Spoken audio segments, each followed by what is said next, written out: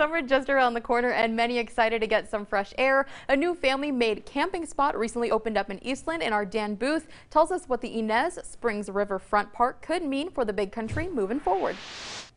It's all about family. It's all about kids and the outdoors. Once Sam and Dee Williams discovered the potential of what they were building, they knew it was important to share their park with the community. We were building it for our family. and The more we thought, you know, other people would enjoy this, so we thought, let's share it and let's see how that goes. Park goers can swim in a pond filled with natural spring water, go camping, fishing, hiking, and spend some much needed quality time with their loved ones. It suits all ages.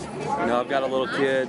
Uh, he's two years old. He gets to play in the sand all day. I got a five-year-old daughter. You know, she likes to just go out and swim. And then I got a 12-year-old son. He loves hiking. And, and, and me and my wife, we enjoy just sitting down and watching everybody. The park is secluded and mostly covered in shade by the surrounding trees, protecting visitors from the strength of the sun. It's just so relaxing and beautiful. Obviously, it's very family oriented.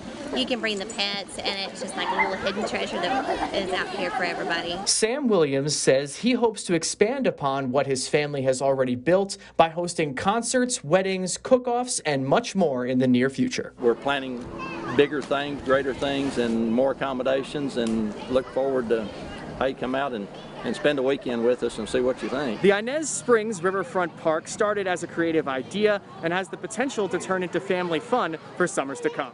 For BigCountryHomepage.com, I'm Dan Booth. Thank you, Dan. For the time being, registration is online. You can find more on registration at the park's Facebook page.